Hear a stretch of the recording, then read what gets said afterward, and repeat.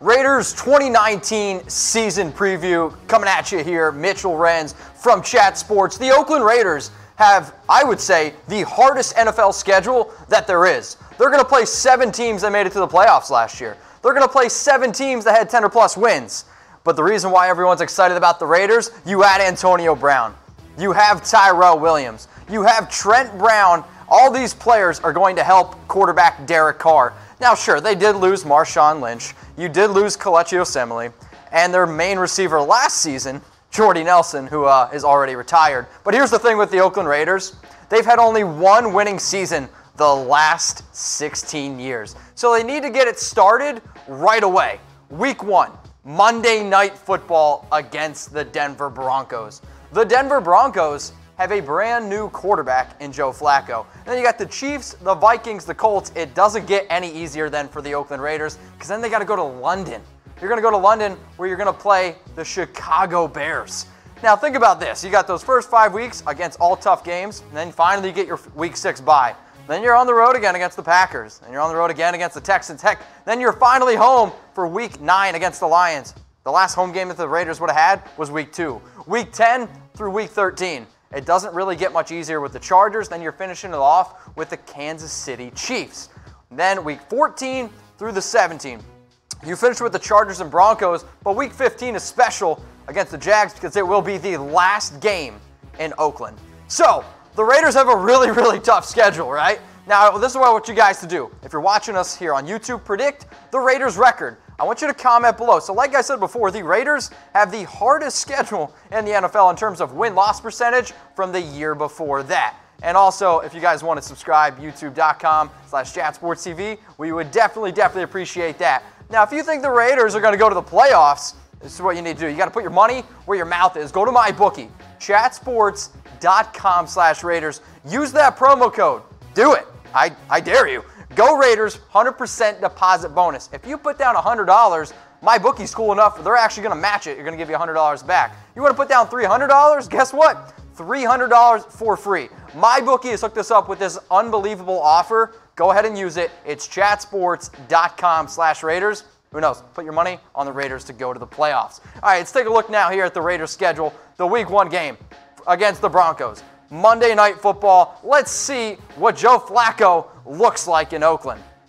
The Raiders are excited to finally get started, and I think in terms of rivalry, this is a fun AFC West game.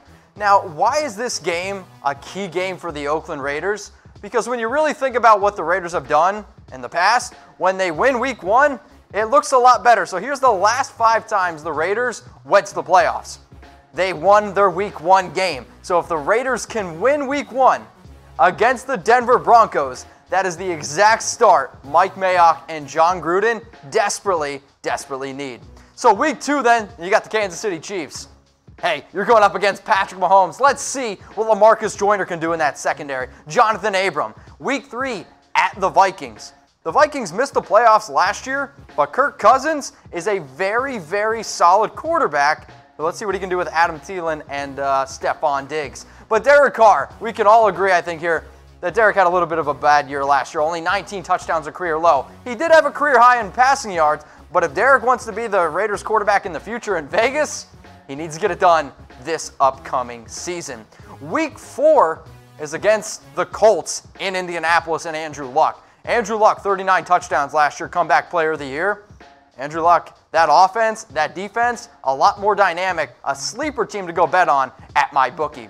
Now, week five, you got to go to London. Now, this is a home game for the Raiders, but you're going up against Khalil Mack. This is the Khalil Mack game. Mitchell Trubisky entering year three. The Bears last season, 12 and 4. It's going to be a tough, tough test to see what the Raiders can do. Can the Raiders protect Derek Carr? The Raiders last season gave up 52 sacks, and I think if there's one guy, Khalil Mack, we know what he can do, had 12 and a half sacks last year. Funny stat here. The Raiders, they only had 13. Then you got that week six bye. Give yourself a nice little break there for the Raiders. But then you got to go to Lambeau, where then you're going to get to meet this guy named Aaron Rodgers. Sure, he only had 25 touchdowns last year, but Aaron Rodgers, I think we can both agree, one of the best quarterbacks in the league. But here's the other thing that's interesting with the Raiders: a lot of different moving parts, right? So this is what who led the Raiders last year in rushing yards. Doug Martin was 723.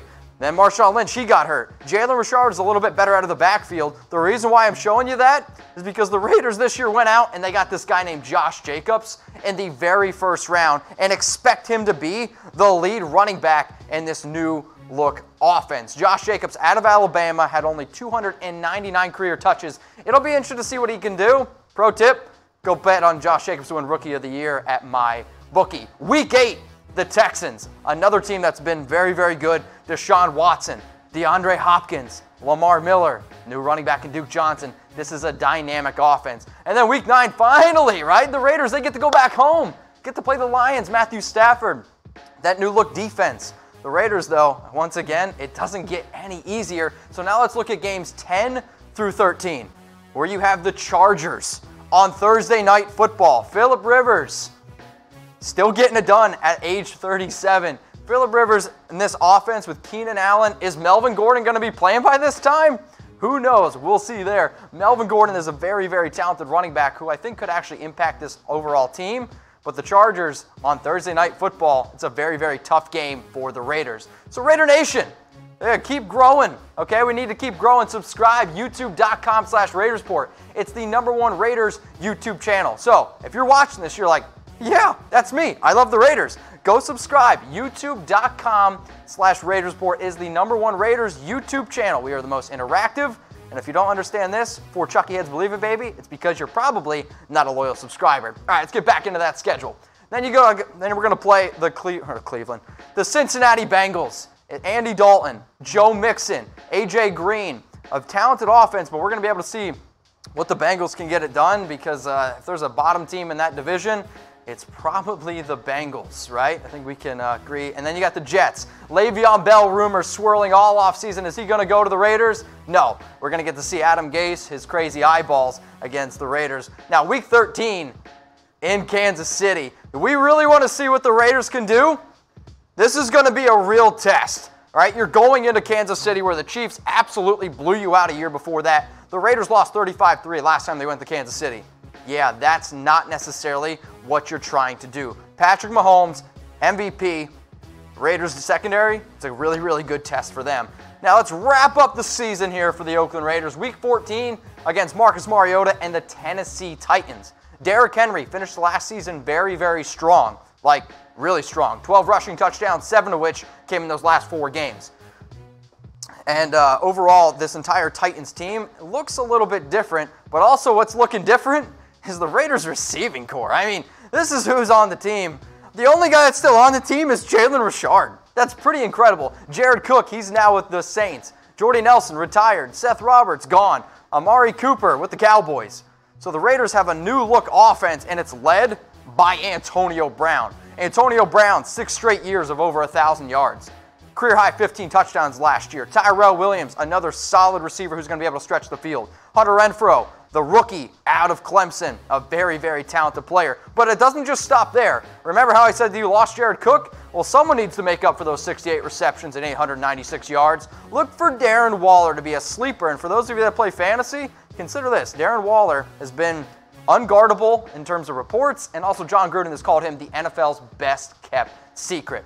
Now let's go to week 15 against the Jacksonville Jaguars. And for those of you Raider fans out there, this is going to be a bittersweet one. The last game in Oakland. And I'm hoping that I'm there watching it with you. So last season, the Jags at 5 and 11, but don't sleep on them. They just added a new quarterback in Nick Foles. And heck, in 2017, they played in the AFC Championship game against the New England Patriots. Week 16 against the Chargers, where you're going in now to Los Angeles. This might actually be a real home game for the Raiders. I think there's going to be more Raiders fans there than actual Chargers fans but it's going to be a tough game for the Chargers. And then week 17 at the Broncos, another tough game there. So overall, week 15 Jags, week 16 at the Chargers, week 17 at the Broncos. So this is what I want everyone to do. We brag that we're the most interactive YouTube channel. I'm going to prove it to you guys. You want to make some money? How about this? Predict Antonio Brown's receiving yards. How many receiving yards for Antonio Brown in 2019? Okay? He had 1,297 a uh, season ago. So what you need to do, you need to guess the exact yardage. And the first person that slides in my DMs at Mitchell Renz 365, if you get the exact yardage correct, you're going to get a Venmo $25 from me. So how many receiving yards for Antonio Brown in 2019?